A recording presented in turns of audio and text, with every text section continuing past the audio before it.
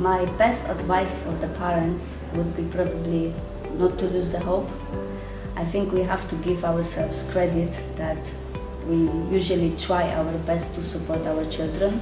We often struggle to admit that ourselves we need support with dealing with everything what comes on our way myself i thought many times if i say that i'm struggling what everyone else will think how i'm able to support my child if myself i'm struggling.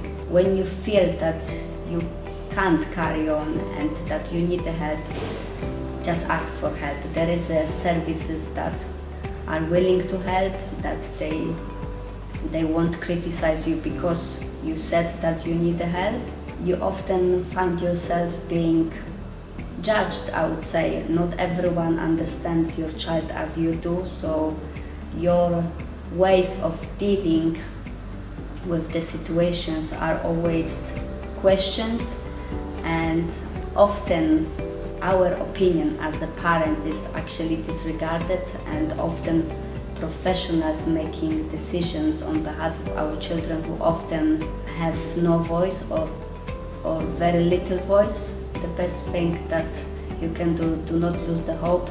Let's just support each other, let's share the knowledge and be nice to each other because that's the, that's the key, key thing. And uh, remind yourself every single morning that you did the best you could to support your child. One thing is that I have always thought, right, I've got a disability. I'm not going to let it rule me. Take control if you can and let it let you control it. But that's how I get through life. Try and keep active and also connected with other people. And also live for today because you don't know what's going to happen tomorrow. It is the positivity because I, I mean, I do like to share with people. Um, I think everybody who's who's who's new to sight loss, it is a difficult journey, very difficult journey.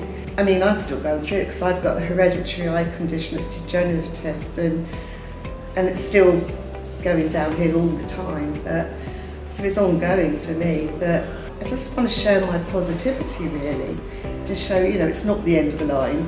I think there's a John Lennon um, quote that there are no problems, only solutions. Um, I mean, I was always told there's no such thing as can't. and there isn't. I mean, you can do things. You can still lead a normal life. Um, and I, I, I mean, I think that's something I want to take forward, tell other people, teach other people. You know, you can do it. Sometimes you need extra help. You might have to ask someone to help you with certain things, but there is help out there. People will help you. I find the general public are amazing. I think if you go along with a really positive outlook, people are so helpful. You know, just just I walk down the street and there's you know, I lose count of how many people have just just helped. I try to have a positive attitude. Um, some days it's hard, but I'd say just keep going, find someone to talk to, just try, try your hardest to keep going. I know it's hard, I mean, there's days I don't even want to get out of bed. There's days I don't even want to be in pain anymore, but I, I keep going. One of the main things that keeps me going is my grandson. I've got a picture of him in my bedroom also the minute I wake up and I see him. That's one of the things. Pacing yourself. Um, if you push through with fibro, you're going to just crash. So learn to pace yourself. Um, my mind's gone blank, that's fibro. You can leave that bit in if you're on, that's fibro fog for you. I can forget totally what I'm saying. I think one of the main barriers in the beginning and, and accepting is try to accept what you can do, look for things you can do, not go back to what you used to. I spent a long time thinking I used to be able to do this, I used to be able to do that, and I would think, oh, I'll be better next week, oh, I'll be okay in six weeks. I go back to my old life. Um, having a new life isn't necessarily bad, but it's accepting that you do things differently or find new interests. Um, but also, don't worry about what people say or think or people judging you. I used to spend too much time worrying about what people would think if I didn't work or what people would think if I couldn't go out, if I was lazy, and I, I, I don't concentrate on those things anymore. I think it's important to try and not worry about what other people say, what other people, if other people are judgmental, um, but just, but keep talking about it, keep emailing people, keep having a voice. If you feel that doctors aren't listening, make them listen. If you feel that people aren't listening about reasonable adjustments or in employment, just keep speaking up. I know it can be quite exhausting, but that's the only thing you can do. Otherwise, you sort of just stay hidden. You don't have that voice, and, and people aren't listening.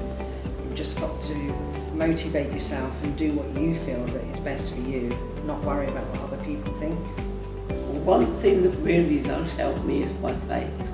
I've got a very strong faith Christian and and Catholic.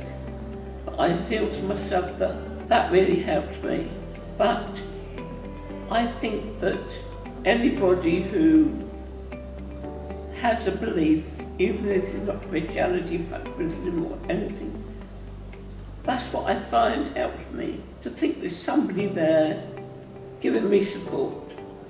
But even if people don't have a faith, they can still feel that there's still somebody there to give them the, the help. And if they're in a situation, they might think, well, how am I going to be in this situation?